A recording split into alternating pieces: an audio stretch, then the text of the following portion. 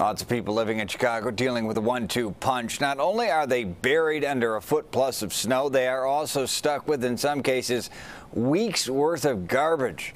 CBS 2's Charlie De Mar tells us this is eating at everyone but the rats. And on top of the snow, the trash is beginning to pile up. Pickup days have been missed, and it's unclear when city garbage trucks will even be able to get down these alleys. If neighborhood side streets are unpassable right now,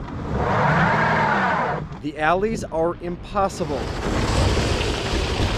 Eleanor has the right idea. It's uh, pretty piled up. Marcus Williams isn't talking about the snow, he's talking about trash, mounds of it lining his alley. Normally on Tuesdays, towards Tuesday mornings, we see them come out. But garbage pickup did not happen today. There's so much snow in the alleys, the city won't be collecting trash for the rest of the week. So you just try to be as uh, thrifty as you can so you know your trash doesn't pile up. Tim Noche's garbage is not only buried, it's bursting. You got to dig out your trash can to throw away your trash. Despite the overflowing garbage bins, the Department of Streets and Sanitation says some garbage trucks are being used to help with snow removal,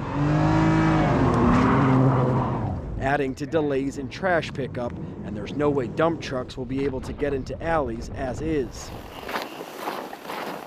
Marcus Williams is patient for now. I'm understandable about that. I mean, I'd rather have the streets be plowed and cleaned than have my trash picked up right now anyway. It's tough because now snow's getting almost as tall as the trash cans. Now, the city says they will be working overtime into the weekend to keep up with the snow and now trash that is piling up. I'm Charlie De Mar, CBS 2 News. And here's a little request from the city. Help out their hard-working crews by clearing the snow off the top of your carts and then shoveling them out.